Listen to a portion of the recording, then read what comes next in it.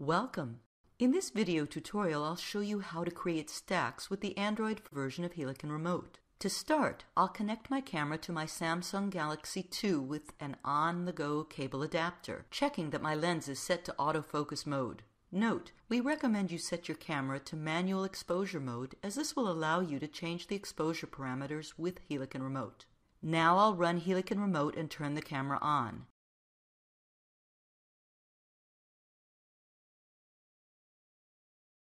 As soon as Helicon Remote takes control of the camera, the live view image will show on the screen of my phone.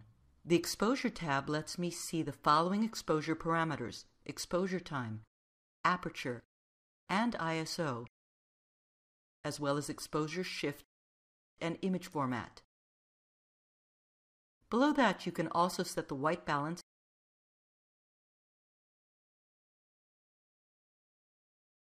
and the flash parameters. The Take Picture button tells the camera to take one shot. The Live View button turns the live view off and on.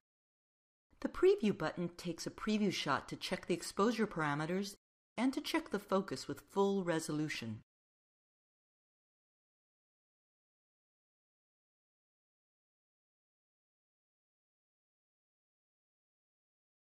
I use the Focus tab to set the nearest and farthest focusing points. To focus on the nearest edge, I use the autofocus function.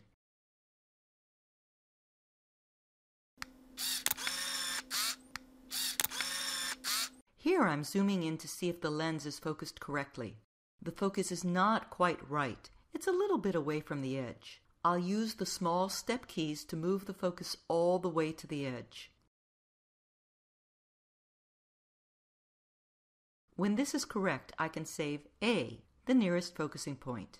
Next, I'll move the focus towards infinity using Helicon Remote's arrow keys. To do so, I won't use the autofocus function as the program will lose track of the focus position.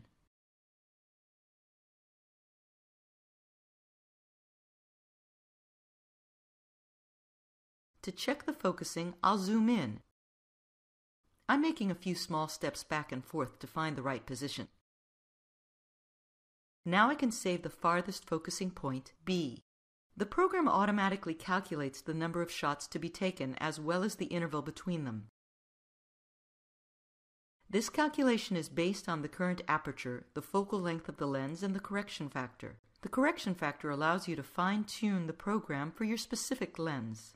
Now that all the necessary parameters are set, I can start shooting the stack. The images will be saved on the phone when the stack is ready. The default setting is for them to be saved in the Pictures folder as is standard for the Android OS, but you can choose another folder in the program settings if you prefer. To find them in that folder, you'll need to use a free Android file manager such as File Expert or ES File Explorer. To copy the images, you can connect the phone to your computer and use it as an external drive. I can always interrupt the process by pressing the Stop Shooting button. On the Live View tab are several tools that can help with focusing and setting the correct exposure. DOF Preview only works for Canon and only if the exposure simulation is turned off in the camera settings.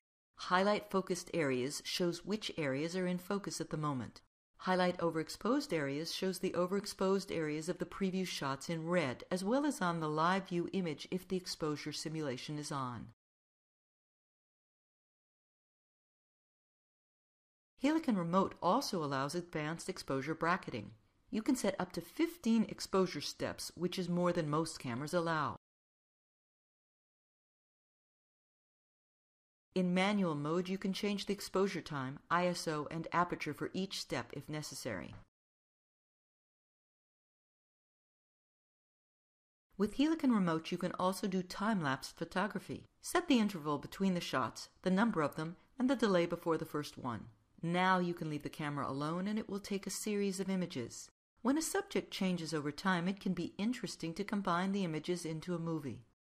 You can download a free Helicon remote for Android from the Google Play Store and try it out. Happy remote shooting with your Android phone or tablet!